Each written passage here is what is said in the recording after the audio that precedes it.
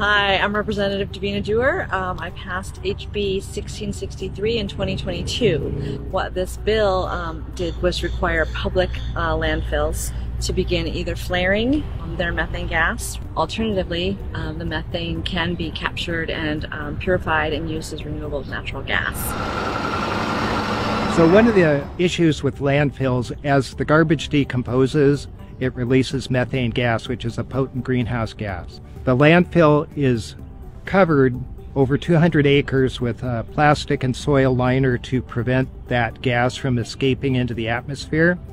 And what you see to my side here is a well that goes down into the refuse and is screened to collect the methane. It's drawn up under vacuum and sent to an incinerator to burn it to reduce the greenhouse gas impacts of the methane. We are here in Tacoma with Jim Parvey, who was just telling me about this incredible equipment that instead of flaring gas coming off the water treatment plant, can actually use it for fuel. How's it work, Jim? Give me the overview. So the gas coming out of the digesters has to be cleaned up to be used for fuel. So it has methane, it's about 60%, a lot of carbon dioxide, water, and some other compounds.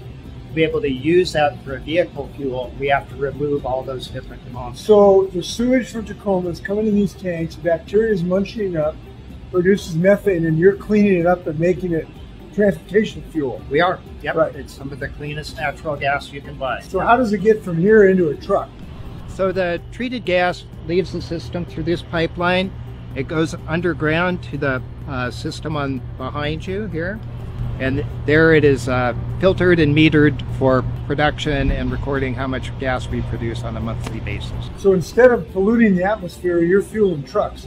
Exactly, right. So we're displacing about 25, 35,000 gallons worth of diesel every month that we're in operation. That's amazing. So this is a climate change fighting operation. Is. Good news from Tacoma.